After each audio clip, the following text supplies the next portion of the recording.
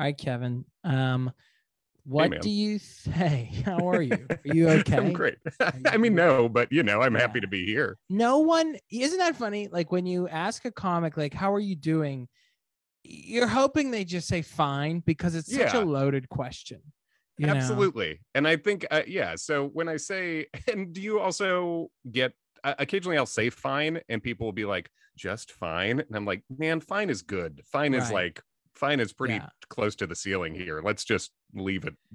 if i can operate every day of my life at fine we're, we're gonna be all right you know Mhm. like Absolutely. fine fine is really what we're trying to achieve and Yes. uh, yeah i feel like comics we're always just one or two days away from like not a complete breakdown but just maybe like i don't have like big sort of colossal breakdowns anymore as a comic where it's like what am i doing this is you know Mhm. I sort of have like eight minute episodes, you know, where like I'll be walking to the grocery store and it'll be like, man, I don't know. Is the guy that's delivering the eggs to the grocery store, does he have it all figured out? Like I look at Oh, that yeah, guy sure. and go, and by the time I walk home, you know, something else has caught my attention.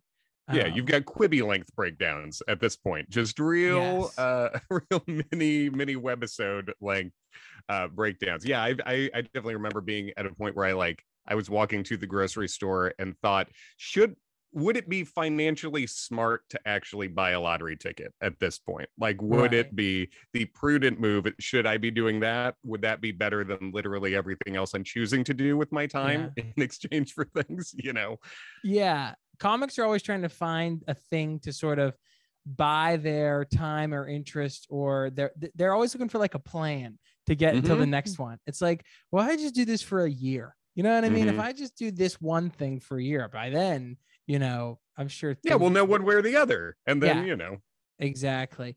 What when's the last time you feel like you've post show? You ever get the like real post show blues? You know what I mean? Where you're Mhm. just like, oh boy, this is gonna take a while to kick out of this. You know, when's when's the last time you had that? Oh, that's a that's a good question. I I mean, probably I would say I was doing shows. I was doing shows at a club I like very much. I was doing shows at uh at Zanies, not uh, the Zanies Rosemont. So it's in the Uh-huh. Chicago area. It's not like the one in the city in the city, which which I love, love. It's this other one that's also very nice. And I had like the first show of the week was great, and the uh, great like all newish stuff, like really fun. Uh, second show, second and third shows were I would say like good to very good, and then the first show on Saturday was just like. I- I mean, like no one left sad, but it felt like just a B minus, C plus, kind of like a nothingness. And then the mm-hmm. last show of the week was great. So I, but it was a club that was like, this is a good club.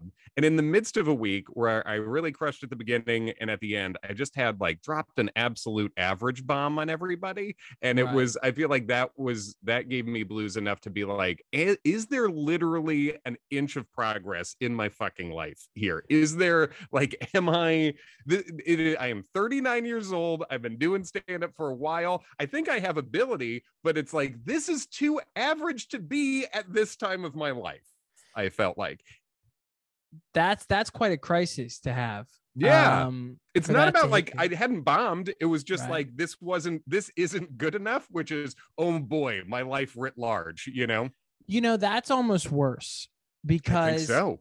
The bomb is like sometimes they're so colossal where you go, well, I mean, hey, that's that just that doesn't happen all the time. Right. And if this is just something for the books, we'll remember this. Uh but the average thing, the feeling of like sort of like a C level performance, you're like, Mhm. uh-oh, like how did that Yeah. sneak in there? You know? Oh yeah, just being a fucking nothing is the is the worst thing because a bomb's interesting at least, you know. Yes, like, Right. Yeah. Yeah. At least you have a story to tell your friends. you Mhm. know like you Absolutely. get something out of it what uh and, and it's it's so hard like you know you like you're in chicago at, at rosemont like it's so hard when you're away from everything and everybody. And then I'm assuming you then what get in a Uber or that someone from the club. I always like when they make like the host drive you home, Oh yeah. you know, and it's like this poor kid that doesn't want to Mhm. that you know they don't want to be they don't want to do this you know Sure. like you're like hey do you want to get like taco bell or something? Like Taco- i got a i got friends dude. I have Yeah. i don't want to hang out with you. And Yeah. then you just go back to like a condo or hotel and sit in it all night. Yeah, that yeah, that that can be not fun. In this case, this, I'm from Chicago originally, so this is one where it was like I was staying at my mom's house, so that was my condo for this uh, for this time, which is also, you know, I mean, that's I I like my mom's house, but it's not you don't feel like showbiz really, you know. Right, yeah. in that that's way. always the toughest when you you hit the club up and they go you go like hey and i have a place to stay so it's Mhm. like eh, you know Yeah. here's one more reason why you won't have to pay me as much and i'm willing to do this you know like, Right.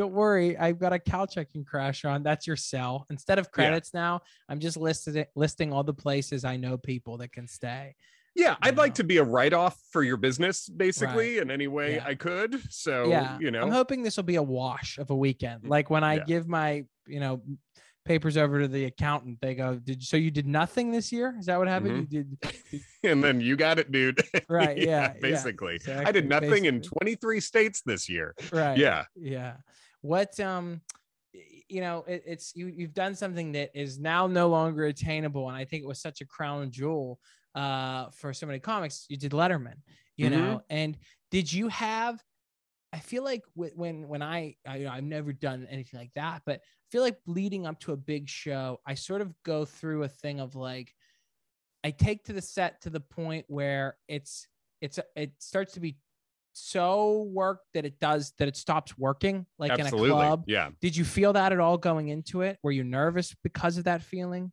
You know, I it was I had a I had a little bit of that ramping up to it, but they used to do a thing where they would uh they would take you you would go to Carolines the night before the show and you would Mhm. do it sort of a final time in front of them and the stand-up booker would be with you just kind of like to time it and see it and then after I did it they said uh you know they said that timed out great so when you're up there don't worry we're not going to give you the light just do these jokes in whatever pace it feels right and that's that's fine we've timed it out great.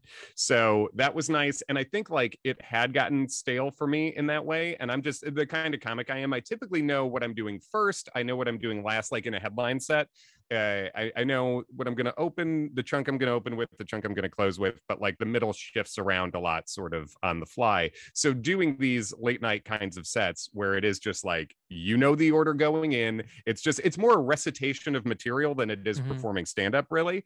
Right. And I think what was nice, the Carolines thing, it was a very like touristy, packed room, and it worked very well. So in my head, I was like, all right, I'm like sending this bit off to these bits off to retirement tomorrow, and it'll be nice. So I think that was like a thing that helped me that way. I mean, I definitely had the I think in my head, I was like not nervous day of because I thought in the story of my life, this has to go well. Otherwise, I I'm walking into the woods. Like this can't. I couldn't have gotten this thing I always wanted to do and had it go badly because then yeah that's all my life is about. So I woke up sort of like not nervous for that reason. I would say.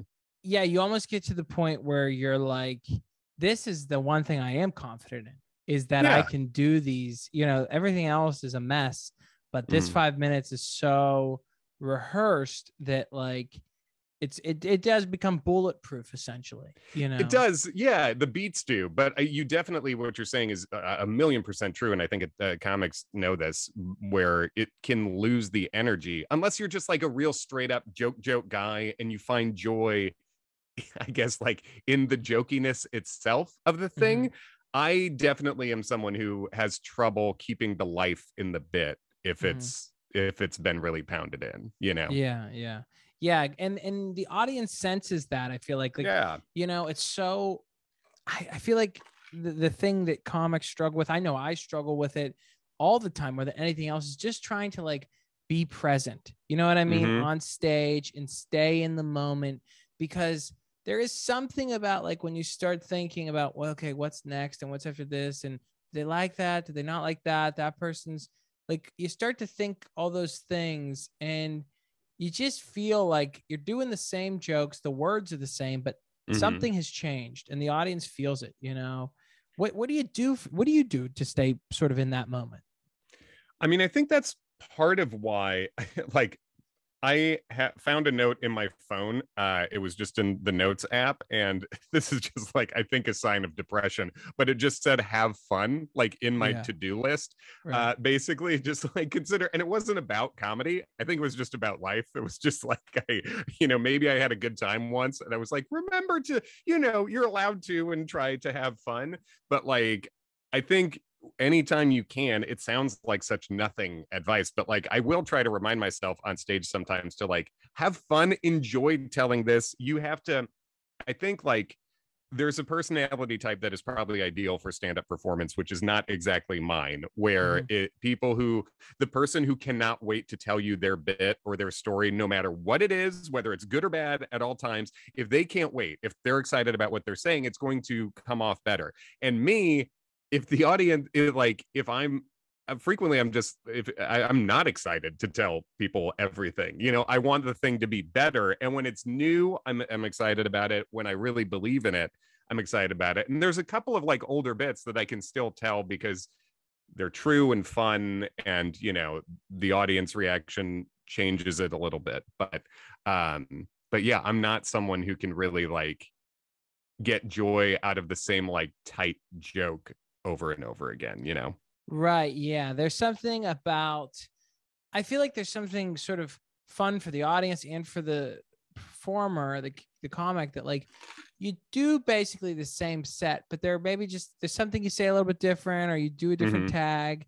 And there's just something fun of like, oh, well, you you had to see that live. You know what I mean? Like Mhm. you couldn't have seen that in another show because it only happened tonight, you know? Yeah. So, Oh, when I think if you react to something in the moment and it and it kills and you reacted in a genuine way, which usually you will because that's instinct, that's not, you know, that's not pre-written. I think that Mhm. makes whatever you're doing after that better for me. Yeah. Like if if some like in the moment riff goes well, that's me being me. That's then that gets me out of my like the joke recitation, the bit like just presentation of the bits I've thought of that gets me back more into like Kevin talking like Kevin, which works better, you know. Right, right.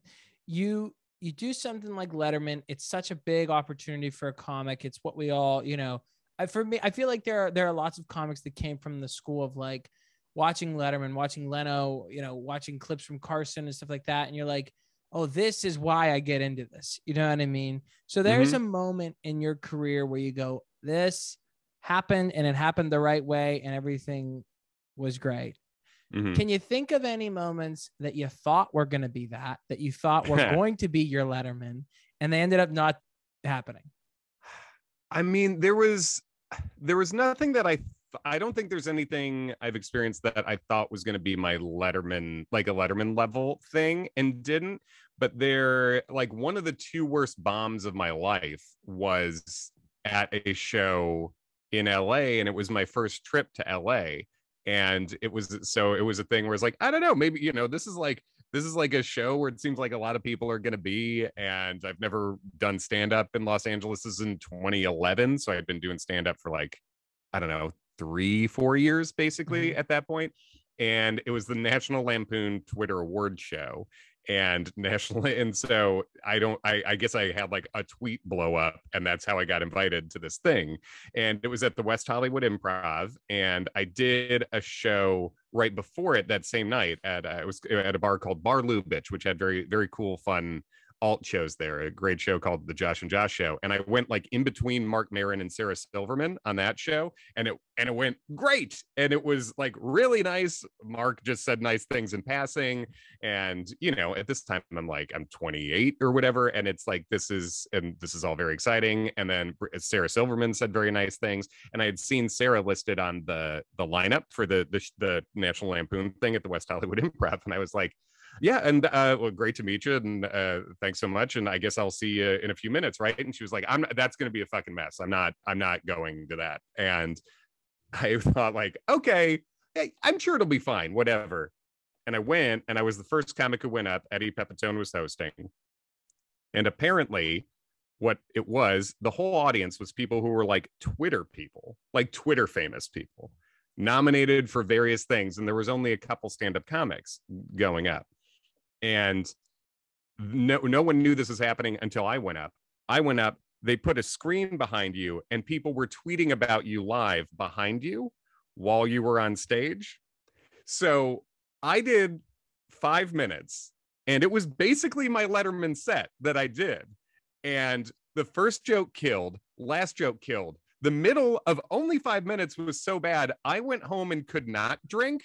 Like, I'm a big drinker. I could not summon the spiritual e- energy to unscrew the cap on the Jack Daniels at my friend's West Hollywood uh, apartment. The first t- uh, tweet that came up behind me uh, before I said a joke uh, I was clean shaven at the time, and uh, someone just wrote "Bomb Hanks" because people think I look like Tom Hanks, or they when I was clean shaven they would. So the first person wrote "Bomb Hanks," and I hadn't said a fucking joke yet, and you know then people aren't listening to your shit. They're just watching what they are these bunch of twitter jerk offs are saying during your set behind you. And i didn't even know that was happening because it wasn't going on when pepitone was on.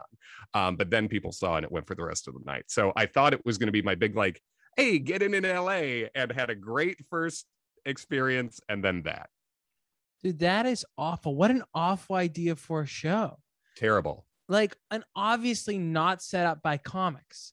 You know, No. like there's no comics in the room that go, "Hey, this is this is the this is like having a TV on in a bar." You know what I oh mean? 100% Like, and everyone literally everyone is on their phones right. trying to get on the screen behind you too and like trend tweet about it whatever and yeah and it was mostly all just like you know like i said like twitter famous quote unquote people at the time but uh there is like there there definitely was one person who considered herself a comedian who tweeted something that I never forget I will never forget or forgive. So it's like not even what she said so much, but just that she was involved in this kind of thing. I was like, oh, no respect from here on from here on forward. So, how long did it take you to sort of move? Were you next day you were feeling better, or were you? Did you carry this? I mean, you obviously you remember it. You know. Oh, I remember it, and now I'm glad it it happened because it's not like Yeah. it's not like if I really nailed the middle middle three minutes of that five, I was getting a sitcom from Danny Zuker, and the you know like Mhm. that that wasn't going that there was no functionally there was no upside that was going to come from this anyway that I would have felt in any way, uh, besides just like having a nice set, I guess, which I certainly did not. But like, yeah, two people from like my college who I started a TV show in college that's still going on, and that's how I met my wife and my best friends. Like two of those people who came generations after came to see me at that show in LA. So it's like I felt awful because of that. Like that that's the way they they saw me. Um so yeah, I was definitely bummed. I mean, it was it was like it just it's that dirty feeling that I think you Right. referenced earlier where it's just like you can't shower it off for uh, Yeah. for a couple of days, you know. that's that's tough and it's tough because that three to four year mark especially because so did you do letterman before before or after this After this. So I did Letterman uh Thanksgiving 2013.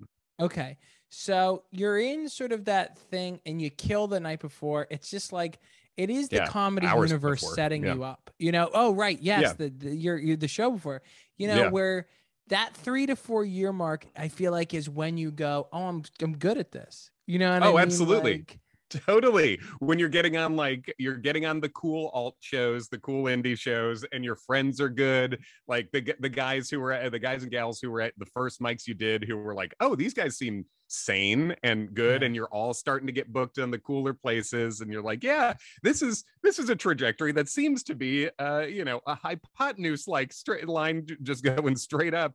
And then as soon it is a, a curse of comedy that as soon as you think I got it, then something horrific happens typically. Right. Yeah. It, it really, and it happens everywhere. Like it happens in comedy, outside of comedy. I feel like where like it just goes, the universe just goes, well, we'll see what we can throw at you. And if Mhm. you're here in six months, you know, yeah. we'll, you know, we'll, we'll wait, we'll wait to see like what, uh, so what do you do to get out of those kind of head spaces? You know, I know you said you, you like to ha- like to have a couple cocktails. Is that usually Sure. the move, or, or do you do anything sort of like therapeutic or habitual or anything like that to get you out of that? No, I mean the cocktails are kind of a default setting, Mhm. regardless of how it's how good or badly anything is going. It seems those are a constant in my life. Uh, I mean, it's sort of. Uh, I'm a big baseball fan, and I feel like it's how what they say about closers. Uh, the you know the final relief pitcher comes on to lock down the end of the game. They say there it helps if they have a short memory. Now I do not have a short memory, but the only way that you can sort of get that confidence back is by getting up as quickly as possible after that. So every time I've done that, and like my first of two Letterman showcases before I got it, the first one I just felt like or the first one I felt was good. The second one, actually, I was like, it was good, but not good enough. And I was Mhm. like so mad at myself because I thought I had like, of the nine people on the show, I was like, I think I had the second or third best set, and that's not good enough. And I just like wanted to get on stage immediately again to be like, no, fuck it. I can, I can do better than this. Let me do that now. So, I mean, it's, it's sort of like, I don't know if it's good or bad, but like, just getting getting back on stage as quickly as possible you know to get to make the last feeling you had good you know Yeah, right. Yeah, it, you just taste. You sort of rinse that taste out of your mouth. You know what Yeah. I mean? yeah. do you have a do you have a go-to move Unfortunately, my move is when I'm in New York, when I'm in the city, if I mm-hmm. have a bad show, I usually get on a subway and I go, all right, well, I guess I should probably start packing things. You know, like I, Right. I'll never forget. Like for about for about a minute or two, I'm like, why am I even? I, I just hate everything. Like I'm like, why am I waiting for a train? It takes 20. min- I hate this. Like, you oh, know, why? late at night when Right. it doesn't come yeah Yeah. I once had a I bombed very early on after moving here. I did very bad on a show. And you know, you feel like when I moved here, I'd been doing comedy for a little while and you work the road, you're like, I'm a good comic. And then you come here and like you just have something, you're trying to prove yourself and it doesn't go well. And I remember getting on the train to come back to Astoria and I was on the wrong train going in the opposite direction. And I texted my roommate at the time, who was also from Pittsburgh, and I said, I'm moving out of New York uh, tomorrow. like I was so Yeah. adamant. I was so upset. Um, but my thing is like, I feel like if I have a good show or a bad show, the celebration or the grieving is the same. It's usually like something like something from the club's kitchen. You know what I mean? Yeah. Like to Right. take back to the hotel room and Yes. you know maybe a couple drinks. Um, and it's just like it's just the mood uh, that I'm in is different. yeah you I. I think you know i think that i think that's good i and i, I mean i think that's very similar to what i do too like i'll I, like me sitting in a hotel bed with some with uh, a chicken product from or a cheeseburger from the the club itself and then watching a weirdly old wwe pay-per-view in my bed is Yeah. like I mean that that has happened in great times and awful, you know, in Right, the same way. yeah. Yeah. Yeah, exactly. It's just like the clouds that's around you. What what what is the feeling of it? You know? Yes, totally. What what do you think? You know, this is this is gonna take a second if you need it. What do you Sure. think, sort of pound for pound? We could it could be venue, setup, the set, how far you had to go, the money Mhm. you were paid. Worst show you've ever done. Oh, that's that's that's very good. As far as yeah. Uh I one contender certainly is uh at the comedy caravan in Louisville. Oh, I'm familiar. Yeah, all right. And uh it's it's gone through some different eras. I w- messaged them about doing feature work and this was like before I'd only featured I've, I'd done featured one nighters basically but I was uh someone said they you know vouched for me at that club whatever and the guy who was running it at the time said you know we uh, well we'd have to see you in person first I was living in New York so like Louisville is where this club is and it's not Mhm. on the way really anywhere I was like all right sometime I'm like I'll borrow my mom's car from Chicago and then drive six hours or whatever to Louisville and do a free unpaid guest spot for five minutes here. So I did that and with the not the promise, but just the possibility of getting, I don't know, $500 at some point in the future. Right. So I did this, and there's just everybody. There's just like a million people showcasing. The show's like two or three hours long. It's on a Wednesday, and I'm like, all right, well, I'm over here. Like I'm in the other room because the main room was, I guess, packed. and uh, someone came running out and said, "Where's Kevin?" And they had just like said Kevin McCaffrey. No one told me that I would no one no one had introduced themselves, told me I was up next. So they said my name and it was just like dead silence in there. Also, the act who went before me was a guy, uh, like a rodeo guy doing rope tricks, like no jokes. He was doing shit with a rope, and then I had to go on and follow it. And uh, two college friends of mine were there. Uh, so I think like in terms of getting paid nothing, hours, who I followed, and the fact that they didn't tell me when I was going to be up, but announced me anyway.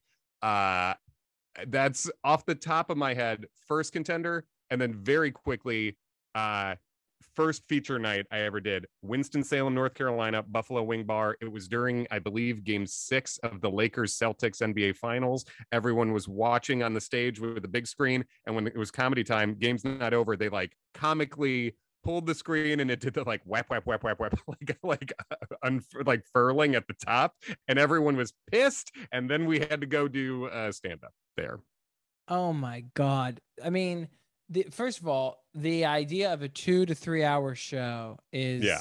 so egregious. Like uh, what what do you what do you think 90 minutes tops? What is your perfect time? yeah it's a yeah 90 it 90 is a good solid and if it's a couple minutes under that's great too Yeah. but like yeah you any any time past 90 it should not be longer than like a yeah, a, a solid 80s comedy movie i mean like it shouldn't be over it shouldn't be longer than any movie basically Right. yeah. Yeah.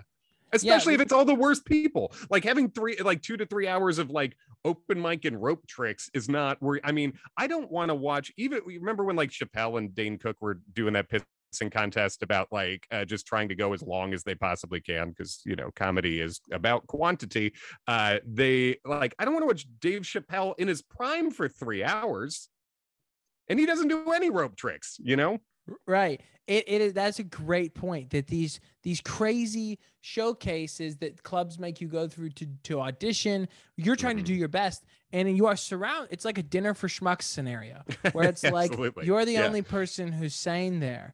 And then they go, "Well, why didn't it go well?" Because you had 45 to 50 minutes of of insane like people talking about QAnon and the Yeah. Illuminati and dating in front of me and then you know there was still another hour of the show to go. Like it's not going well for anybody.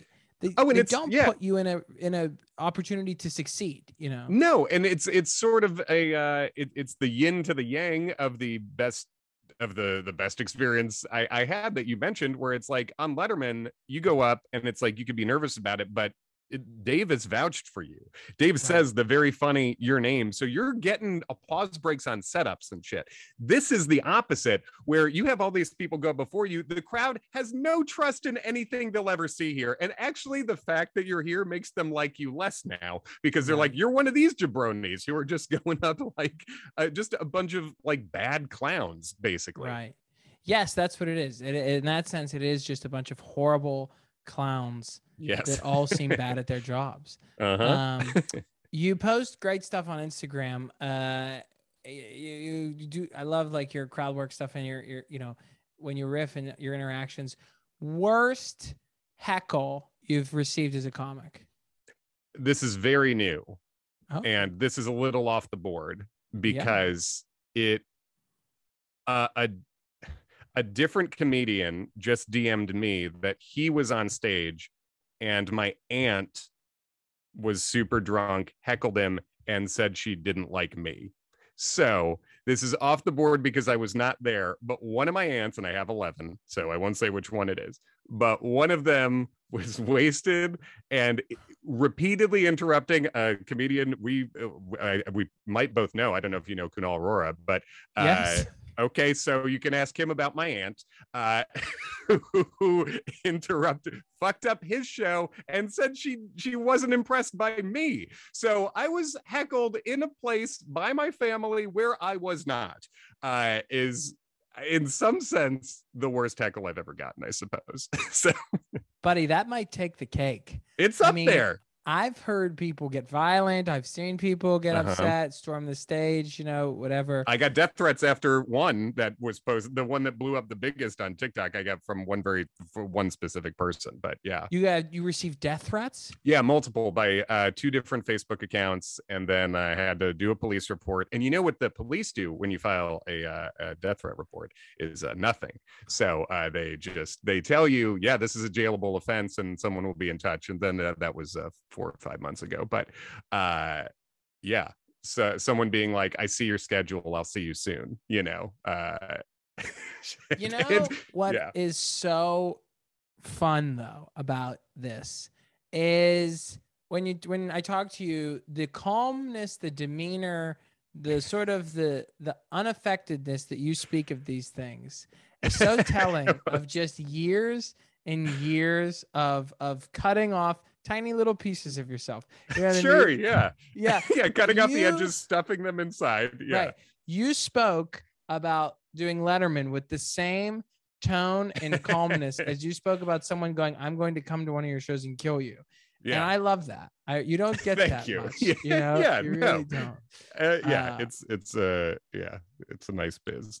Um, Kevin, I can't thank you enough for doing this. Tell people where they can find you and where they can see online and where they can see you live, even. Yeah, man. Uh, thanks for having me. Fun to fun stuff to talk about. Uh, truly, which sounds some of that might sound, Yeah. sound sarcastic, but no, I, it actually is fun. Um, you can you can find me at Kevin McCaff on Instagram, TikTok, Twitter, all the things. Just at Kevin McCaff, and uh, yeah, a bunch of bunch of wood stuff coming up. I don't know when this is dropping, but I'm in St. Louis, April 7th to the 10th at the Funny Bone Westport. I'm Wichita Loony Bin, April 14th to the 16th.